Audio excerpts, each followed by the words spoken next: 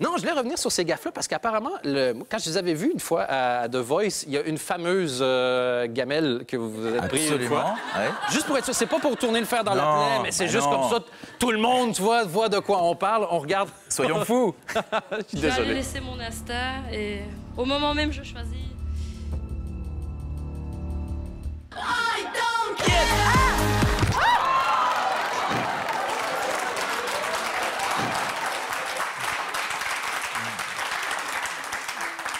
Et apparemment, dans- à chaque fois que vous alliez dans un autre pays, on vous le ressort en demandant si c'était Mais- fake. Mais oui, mais, mais alors, c'est- en fait, ce qui est terrible, c'est que quand je voyage et que, par exemple, j'étais en, c'est ce que je disais l'autre jour, j'étais à Berlin et le, et le, le- deux trois jeunes qui m'interpellent comme ça en rigolant, euh, en me regardant, et ils me disent en anglais, Ah, mais vous êtes euh, le coach de The Voice en Belgique. Je dis bah ouais, mais com- comment eux peuvent savoir ça? Ils ont The Voice of Germany, quoi. Ah ouais. Et ils me montrent la vidéo, quoi. C'est-à-dire que ça a tourné, ça a passé sur les, au- par, les frontières, etc., quoi.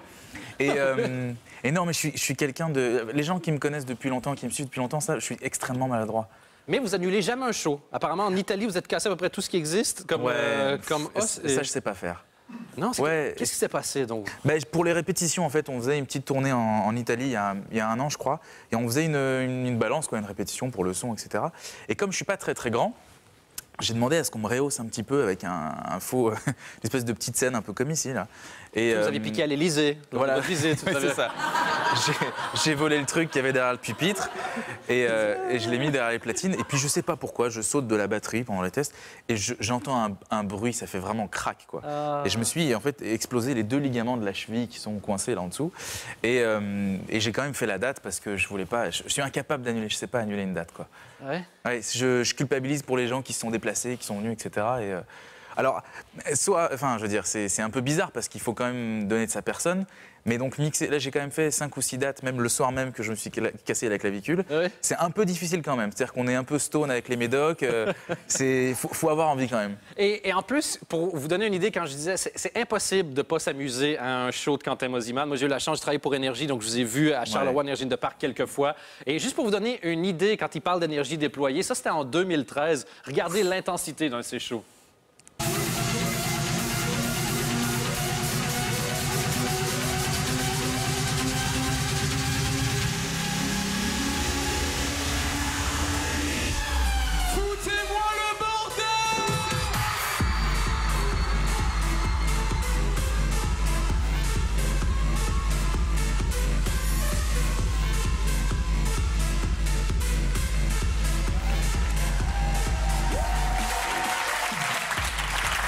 Et une autre année, comme vous apprenez pas vite que vous êtes gaffeur, vous aviez fait un genre de- du bateau dans la foule, une espèce de bateau Oh gonflable. là là là là. Vous aviez jeté le bateau gonflable dans la foule, vous êtes jeté dedans. Ouais. Et vous étiez cassé la gueule ou pas cette fois-là? Mais bah, je pense, je l'ai fait plusieurs fois. Ouais? Je l'ai fait plusieurs fois et, euh, et souvent je suis tombé en plein milieu de la foule parce qu'en fait ça, ça dépend si on le fait en Belgique où les gens veulent quand même essayer de t'attraper ou te toucher ou te, euh, ou te déshabiller ou t'enlever une paire de, de- de chaussures.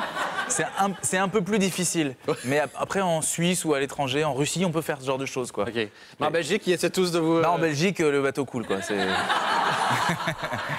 Et à Paris, comme tout le monde se fout de tout le monde, il y a un bateau, les gens font... Ah Ouais, c'est ça. pouf. J'ai pas le temps de monter dessus. Le- vous êtes aussi donc de retour dans The Voice. Oui. Qu'est-ce qui vous a fait revenir? Vous étiez donc absent un an, vous êtes de retour. Qu'est-ce qui vous a fait revenir? J'avais, euh, j'ai passé, j'ai passé deux ans à faire une émission sur, euh, sur Fun Radio en, en France, qui m'a pris beaucoup beaucoup de temps. C'était tous les samedis pendant quatre heures.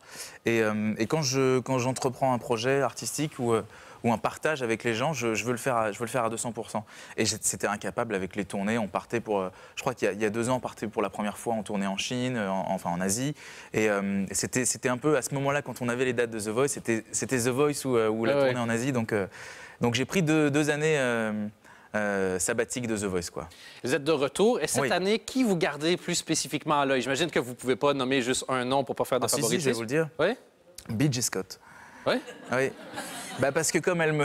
Oui, parce qu'alors évidemment, cette vidéo qui est passée où je me casse la figure, c'est... on- n'a pas l'origine de la vidéo. C'est-à-dire que les gens ne savent pas qu'en fait, c'est elle qui me défait le lacet et que moi, comme un... Je me dis, bon, je vais attendre que la séquence se termine et puis je, je remettrai mon lacet après. Mais non, je ne m'attendais pas à ce qu'elle me choisisse, la Priscilla. Et donc, je marche sur mon lacet et je tombe.